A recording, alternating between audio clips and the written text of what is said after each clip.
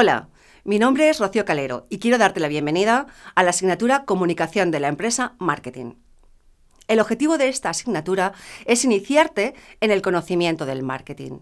A lo largo de este cuatrimestre estudiaremos los conceptos básicos, estrategias e instrumentos de marketing para toma de decisiones en las organizaciones, pero con especial referencia a la política de comunicación.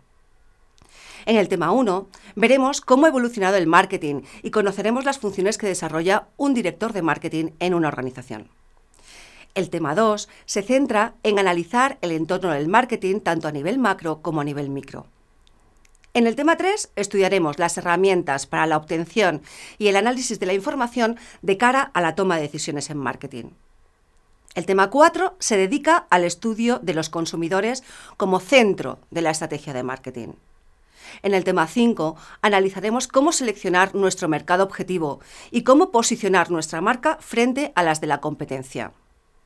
Y por último, en el tema 6 trabajaremos sobre los instrumentos del marketing mix, producto, precio, distribución y comunicación, las 4 Ps. La guía de estudio de la asignatura se encuentra en la pestaña Información General en el aula virtual. Es muy importante que la leas detenidamente porque esta guía te va a permitir por un lado, conocer el detalle el programa de la asignatura, cuyo contenido se recoge en la pestaña de contenidos del aula virtual. Estos temas estarán a tu disposición de forma secuencial a medida que va avanzando el cuatrimestre para fomentar un estudio ordenado de forma temporal. También te permitirá consultar la organización semanal de las sesiones y cuándo tendrán lugar las sesiones teóricas y las prácticas. También te permitirá conocer la metodología y los materiales que vamos a utilizar.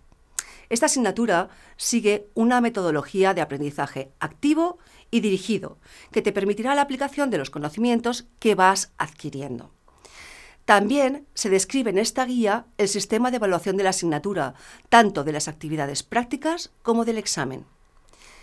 Tendremos una primera videoclase de inicio de curso para conocernos y para resolver las dudas que os hayan podido surgir con respecto a la guía de estudio. Podrás contactar conmigo a través de la herramienta de correo de la asignatura, cuando se trata de un tema personal, o a través del foro de tutorías para cuestiones generales que puedan ser comunes con las del resto de tus compañeros. Espero que la asignatura te resulte interesante. Muchas gracias por tu atención y hasta pronto.